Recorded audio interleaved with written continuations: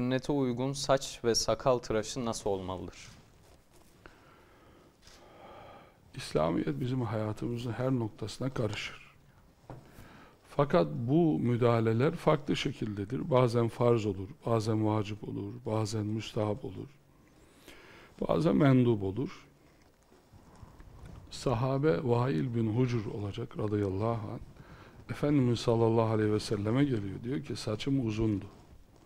Resulullah aleyhisselam beni gördü buyurdu ki zübabun zübabun yani bir uğursuzluk gibi o manaya da geliyor. Bunu söyledi. Sonra ben gittim saçlarımı kestim. Ertesi gün Resulullah aleyhisselam beni görünce ne yaptın? Siz böyle buyurdunuz ya Resulallah dedim. Efendimiz sallallahu aleyhi ve sellem ben bunu kastetmemiştim. Ama hada ahsen. Bu güzel oldu. Saçları kesince bu güzel oldu buyurdu. Yine Resulullah aleyhisselam şuna müdahale ediyor. Bir çocuk görüyor. Saçının bir kısmını kesmişler. Öte kısmını bırakmışlar. Sallallahu aleyhi ve sellem buyuruyor ki İhlikuhu kullehu ev utrukuhu kulle. Ya saçın tamamını kesin ya da tamamını bırak. Yani buradan biraz alıyorsunuz, buraları bırakıyorsunuz. Veya burada bırakıyorsunuz, buraları alıyorsunuz. Yani saç tıraşınızda birilerine benzeme olmasın. Başkalaşma olmasın. Peki uzatmayı yasaklıyor mu Resulullah Aleyhisselam? Yasaklamıyor. Kendi uzatmış mı? Uzattığı olmuş. Kulağının işte ortasına kadar, kulağını yumuşağına kadar Efendimiz sallallahu aleyhi ve sellemin saçlarını uzattığıyla alakalı rivayetler var. Yani bir delikanlı saçını uzatıyorsa ona müdahale etmek doğru değil. Ama kısaltırsa Efendimiz sallallahu aleyhi ve sellem ona ahsen diyor. Yani burada örfü esas almalı.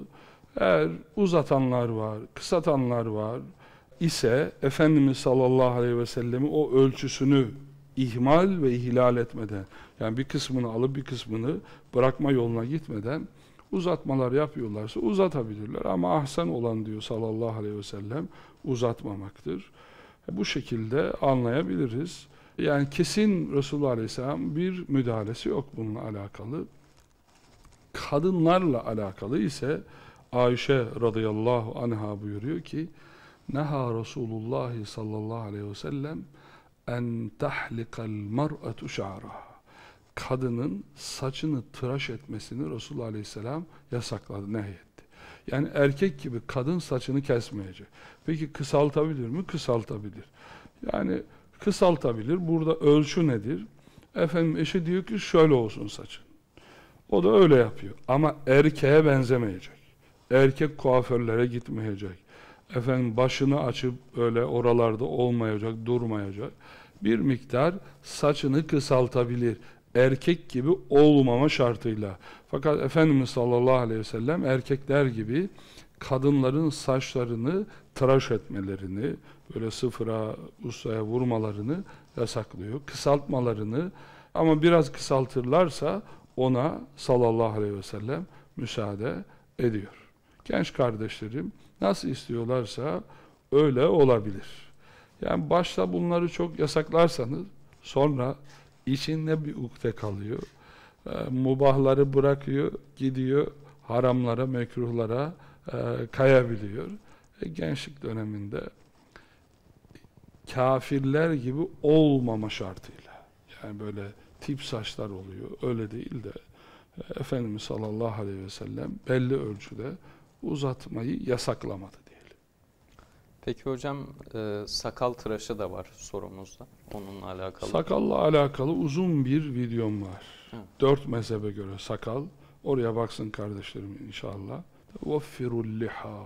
Hamsun minel fitra. Aşun minel fıtra buyuruyor sallallahu aleyhi ve sellem.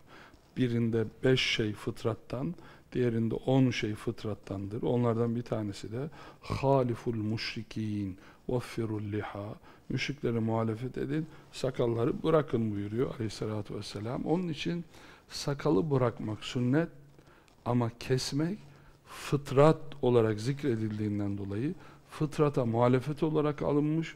Şafii mezhebinde bazı alimler mekruh kabul ediyor. Diğer bütün mezhep imamlarımız hepsi sakalı kesmek haramdır diyor.